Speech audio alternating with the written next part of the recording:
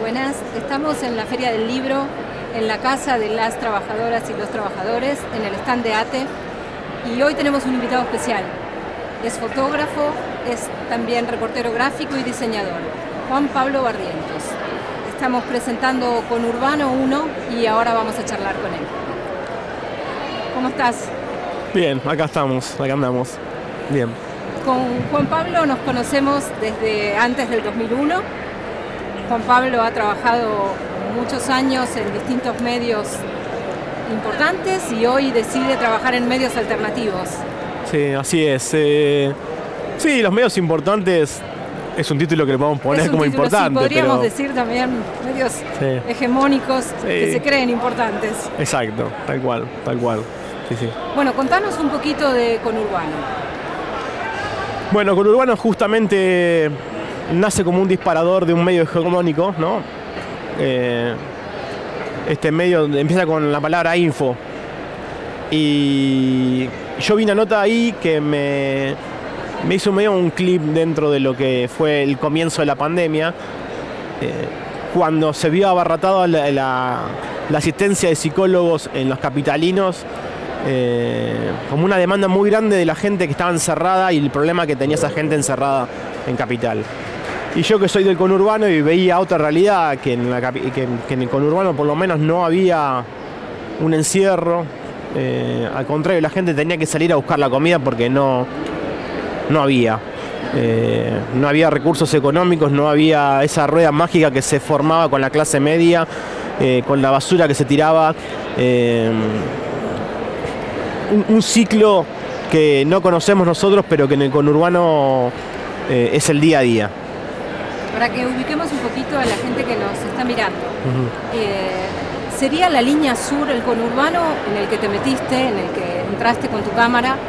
Es la línea sur de, de lo que Eh, podríamos hay- llamar Sí, hay un poco de todo, porque hay Villa París, hay unos nombres increíbles de los barrios. Claro, pero también hay eh, de Luján también. También hay, hay sectores de Martínez, sertones del Tigre. eh, Barrio La serto- Chatarra que está, Eso es Loma de Zamora. Loma de Zamora. Eh, Isla Maciel, Isla Maciel, Avellaneda, Morón. eh, hay como un abanico grande. Capaz que hay más hincapié en la zona sur, porque soy de la zona sur. Pero el recorrido es desde el norte a sur de la provincia de Buenos Aires. tu, tu libro empieza con un mapa. Contanos un poquito por qué también quisiste incluir en este mapa no solamente hay lugares, sino que están nombradas muchas personas. Me, Sí. me llamó muchísimo la atención eh, la presencia de la cantidad de mujeres que acompañan esta publicación. Sí, sí. Malvina, Sandra, Soledad. Ujú. Sí, digamos que son las protagonistas de, este proyecto. Eh, yo cuando empecé a hacer este, este proyecto, que no estaba todavía pensado como un libro, eh, fui analizando que al final de todo este recorrido, el 95% de los protagonistas eran las mujeres, o por lo menos las que eh, tenían la sensación de, de las que estaban eh, pagando la olla, trabajando, eran ellas. Eh, había. El, libro comienza con, un- con una primera foto que es de un hombre que siempre pasaba y lo veía abajo de un, de un puente durmiendo en el camino de cintura. Y eso tiene el libro, ¿no? Me paraba con cada personaje que yo encontraba en la calle, podía ser un comedor, como durmiendo en situación de calle, en este caso en Ruta 3, eh, como podía entrar a- también a un basural o a sectores donde eh, estaba castigando la pandemia, agudizaba la pobreza de la provincia de Buenos Aires, ¿no? Tu libro es una bitácora de viaje. Eh, Pero además de las imágenes, que también te voy a contar un poco cómo fue ese recorrido con tu Ford Fiesta Sí. año 97, también están las palabras de tu papá. Hay textos de Ernesto, tu papá, Sí. escritos hace más de 20 años. Sí, en plena época de privatización, digamos, de, de Menem, digamos, vamos a hacerlo así. Casi Mi papá muy indignado con la política neoliberal que se 30 estaba años. viviendo, eh, mandaba cartas a página 12 y nunca se las publicaron. Entonces, eh, en un momento mi papá falleció. Eh, él decide mandarme todas estas cartas con cuentos y poesías de él. y bueno, cada tanto uno agarra esas cosas y las va viendo, ¿no? Y justo en este proceso del libro me encuentro con estos textos y había una, una, correlación muy importante de la injusticia que mi papá contaba en esas cartas, con mucha bronca, y me pareció que podía coincidir tranquilamente con, con imágenes que, de lo que estaba viendo yo hoy en día, ¿no? Hay un pasaje del libro en donde te metes en Guernica y en lo que fue el desalojo y toda la cobertura y acompañar a las familias que estuvieron ahí. Y hay un texto de tu papá Sí. que hay dos textos que, que me llamaron mucho la atención, Dejémoslos solos y País de Boludos. Sí. Eh, realmente los textos parecieran estar escritos hoy mismo. Sí, sí, fue, fue eso la, la- la magia de, de mi papá cuando, cuando yo empiezo a hacer fotoperiodismo. Y él no creía en lo que yo estaba haciendo, por más que estaba muy entusiasmado porque él me dio su cámara, pero hubo un par de acontecimientos como fue el 2001 y después eh, lo que pasó con Darío y Maxi en la estación, que yo lo vi muy en carne propia y mi papá estando presente en ese momento vio el riesgo que yo estaba corriendo, ¿no? Con la inexperiencia que yo tenía como fotoperiodista. Eh, y ahí empezó mi papá a, a escribir estas cosas, más de bronca, más desde adentro, eh, y surgen esos textos, ¿no? Contanos un poco cómo fue el viaje de ir barrio por barrio. Mirá, el, fue, al principio fue, digamos, como predeterminado los lugares donde yo iba a ir, pero cuando me subía al auto era muy improvisado, muy improvisado. Capaz que de repente tenía pensado ir a, a Puerta de Hierro y terminaba en Luján. Porque me hice amigo un chatarrero y el chatarrero me dice, no, yo todo esto lo voy a llevar a Luján, allá me pagan mejor. Y se ¿Llegaste a barrios que no conocías y fuiste entrando solo? Sí, sí, sí, sí. El- el- bueno, justamente el barrio de la Tablada, los monoblogs de la Tablada, eh, que ahí conozco a Malvina. Eh, me mandé con el auto y sabía que en algún barrio hay un comedor. Entonces fui a un almacén y le pregunté dónde estaba el comedor y me dijo acá a la vuelta. Fue muy sencillo, fui ahí a la vuelta y estaba el comedor de Malvina, que es del movimiento Evita. Y Malvina me abrió las puertas y eh, me contó la situación en ese momento de la pandemia, la cantidad de gente que le daban de comer, la asistencia que ellos tenían con los vecinos que estaban infectados, eh, las situaciones que se daban con los que estaban infectados, eh, el- y todo el contexto que daba eso, ¿no? Digamos, de salir a limpiar los pasillos. eh, y así fue como ella me fue derivando a Puerta de Hierro, a los kilómetros, barrios un poco más alejados de lo que es la matanza. Pero después, de- a partir de una semilla, se va plantando otras, ¿no? Como que. Y ahí sí iba a haber recomendación por otra. Hay un título de una nota sobre el libro en, en Agencia Tierra Viva que dice algo, un concepto que me parece muy acertado, que tiene que ver con que es ese conurbano que está ahí, que Sí. todos recorremos de alguna manera al venir a trabajar a la capital, pero que por alguna razón eh, no estamos viendo. Sí, sí. eh, obviamente que no se ve, que no. Digamos, yo lo vi desde chiquito, por eso también está un poco mi papá metido a esto, porque era un recorrido que yo hacía de chiquito desde Morón a Lanús, a la casa de mi abuelo. Lo hacíamos en un Fiat 600. eh, pero Hay una foto que está en el libro que vos Claro. le tomás a tu papá en ese auto. sí, es un poco. Vos tenías ocho. Ocho años tenía. Eh, la verdad que fue un desafío hacer esas fotos, porque en la cámara se hacía con un tiempo, con una dedicación, y esto fue. Yo agarré la cámara y hice una foto. Y. No sé. Salió bien eh, por los recursos que tenía en ese momento. Eh, y la cara de mi papá es de. Nada. Mi papá jamás me levantó la mano a mí. Pero en ese momento pensé que me la iba a levantar. Eh, sí. Esto me trae preguntarte eh, que además de, de las imágenes que tiene tu libro, también de alguna manera nos trae, eh, nos trae muchas voces. Además del libro se está haciendo una muestra que es en el Museo del Hambre. ¿Por qué elegiste ese lugar para la exposición? En el Museo del Hambre, bueno, Marcos eh, Lardi es como el coordinador, el facilitador, como dice él, del lugar.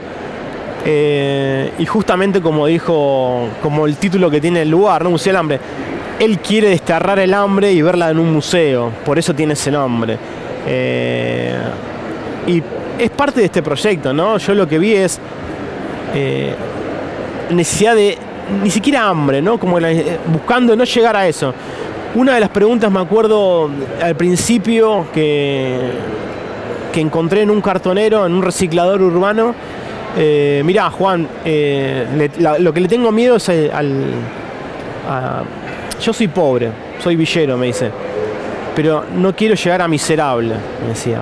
Eh, por eso estoy trabajando acá y, yo lo veía lo que estaba comiendo, que era de, la basura de la gente, y dice, yo no quiero llegar a esto. Como estaba llegando a un, lugar que nunca había llegado en el comienzo de la pandemia. Y para mí eso es hambre, ¿no? Eh, y él me decía, no quiero tocar fondo. Como que también el Museo del Hambre representa un poco eso. Este trabajo hay mucho de eso. De la necesidad de que nadie que mis hijos, que nadie que esté en situación límite padezca de hambre. Hay muchas historias en, tu libro, pero hay una que te quiero preguntar, que me cuentes un poco la, historia de José. Bueno, eso es Villa Albertina. Eh, yo conozco a Sandra en, Villa Albertina, en el comedor de los chicos de la vía, los pies de la vía. Y en ese barrio, casas de por medio, estaba la casa de José, que siempre lo vi en la puerta tomando mate, tereré, depende de la estación del año. Y lo vi con este caballo blanco que él le salvó la vida porque lo estaban por matar dentro de un arroyito unos hombres que estaban ahí. Y él tenía una plata ahí ahorradita y se la le ofreció antes que lo maten al caballo. Y ahí lo tuvo como un año el caballo, hasta que lo engordó y lo vendió. Pero se lo vendió con otro, digamos, bien, con las patas bien anchas, ¿no? Como dicen ellos. Y nada, y quedamos con muy buena onda con José. Ya, yo siempre que iba al barrio, al comedor, eh, tenía la mejor onda conmigo. Eh, siempre las charlas previas antes de entrar al comedor estaba con él. Y dentro de hace más un mes volví al barrio eh, a llevarle el libro a José eh, y a su compañera Mercedes. Y, le entregué el libro, estábamos contentísimos porque estaba una foto, él no lo podía creer, muy agradecido. Fue la verdad un, encuentro muy lindo con ellos y con toda la gente que fotografié en el barrio y que le entregué un libro. Nada, volví a mi casa y, a los días iba a hacer un posteo con las fotos de él y me llaman del barrio y me dijeron que no, que José lo, eh, nada, en una situación violenta del barrio había fallecido. Y nada, volví, eh, me, enteré un poco mejor de lo que estaba pasado y, es, el ciclo nuevo que para mí yo me estoy encontrando en los barrios, que es el tema del narcotráfico, ¿no? Toda una cuestión de violencia familiar y esta cosa de depender de una sustancia hace que la violencia esté más presente todavía en los barrios. Hay una de las frases de las mujeres a las que entrevistaste, porque además de los textos de tu papá, hay textos descriptivos de cómo fuiste hablando con toda la gente que fuiste retratando. Y hay un texto que habla justamente de que si bien el coronavirus estaba matando mucha gente en la sociedad, estamos hablando de barrios en donde la muerte está presente todo el tiempo. Sí, Sí, el coronavirus es para, para ellos una gran anécdota, ¿no? Es, parte de, de, una situación diaria que se prolongó por dos años. Pero ellos cada vez que abren una puerta es salir a luchar, a ver con qué se van a encontrar. Digamos. Eh, es, es como digo, es el día a día y no hay un proyecto eh, eh, mensual, semanal, anual de lo que puede llegar a pasar en una familia. Ahí es sobrevivir día a día, porque no sabes qué puede pasar en ese barrio, si te van a venir a desalojar, si hay un nuevo puntero político, un nuevo puntero narco, digamos, hay un nuevo comedor. Es el día a día. Y eso es lo que tiene el conurbano de caliente, ¿no? Que no tiene capaz una sociedad de clase media en un barrio acomodado, que la vida transcurre semana a semana, el día a día. El conurbano es otra temperatura. También hay un texto tuyo que dice que abramos este libro ahora, lo dejemos y lo volvamos a abrir en un tiempo. Sí. Sí, es un poco a mí lo que me pasó con estos viajes míos con mi papá de chico. Y para mí es un nuevo capítulo que yo a los casi 50 años cierro este capítulo. Entre comillas lo cierro porque se sigue trabajando. Eh, que no cambió nada. Desde que yo era chico hasta ahora sigo viendo la misma situación. Lo único que cambió fueron el modelo de los autos y, y nada más. La gente sigue siendo igual. La, el, el obrero que está en Puente 12, debajo de, de, esos puentes, con su pala atada con un cordón y papel de diario, es el mismo que cuando yo era chico. Digamos, es, es igual, la postal es igual. Ahora te voy a hacer una pregunta como fotógrafo. Sí. ¿Qué te llevó a, a, salir de esta situación?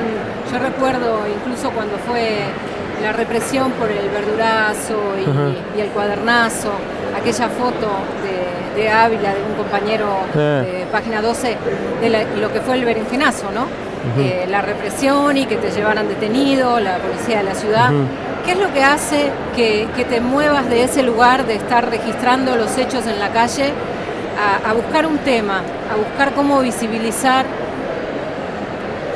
¿En qué momento nace esa, esa necesidad o esa decisión?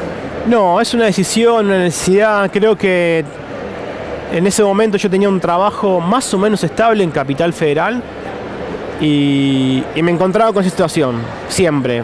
Me encontraba con situaciones a las que fotografiaba, que directamente capaz que ni llegaba a la redacción, trabajaba en Cítrica, eh, que quedaba en el Bauer. Entonces, bueno, me encontraba que yo venía de Constitución y me encontraba con todas las marchas. Iba directamente a fotografiar, a fotografiar a así. Eh, me pasa eso eh, que hoy en día no tengo un trabajo estable. Me hago cargo de mi familia. Eh, una cuestión de rol, mi compañera hace una cosa y yo hago otra. Entonces capaz que en situaciones me encargo más de, la parte familiar y tengo que buscar una situación que yo necesito fotografiar, pero con mis horarios y cosas. Y nos acomodamos así. Eh, por eso no tengo tanto capaz hoy en día eh, eh, el, día a día de la actualidad que solía tener hace años atrás. Eh, entonces trato de agarrar un tema y desarrollarlo. Que también es lo que más me siempre me interesó. Eso. Desarrollar un, un tema en territorio. Sé que además de con Urbano 1, sé que seguís trabajando en otro tema. Contame sí. qué tema.